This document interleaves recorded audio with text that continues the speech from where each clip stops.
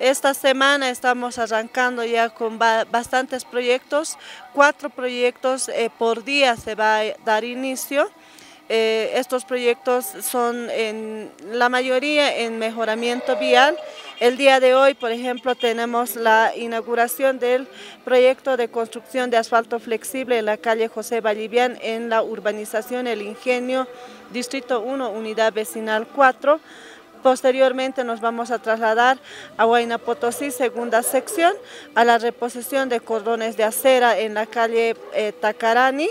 Y eh, también por la tarde vamos a estar en la urbanización Germán Buch 112 en, con un proyecto de enrocetado en la calle Radio Fides eh, y la avenida Calacoto y finalmente en la urbanización Mercurio, eh, en la calle India, de, la misma manera con proyectos de enlocetado. En tema de infraestructura, netamente eh, estaríamos invirtiendo solamente en esta semana un millón 900 mil más o menos aproximadamente y en tema de mejoramiento de eh, eh, luminarias eh, apoyando al tema de seguridad ciudadana estaríamos invirtiendo como unos 200 mil bolivianos.